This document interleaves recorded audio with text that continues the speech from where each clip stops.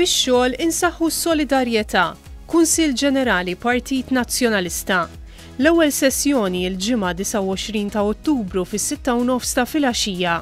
It-tieni sessjoni is-Sibt 30 ta' Ottubru workshops mid-disgħa u nofs ta' filgħodu sa nofsinhar, u l-aħħar sessjoni, il-Ħadd, 31 ta' Ottubru, mid-disgħa u nofs ta' filgħodu 'il quddiem, meta l-Kunsill Ġenerali jiġi fi tmiemu b'diskors tal-Prim Ministru u Kap tal-Partit Nazzjonalista Lawrence Gonzi.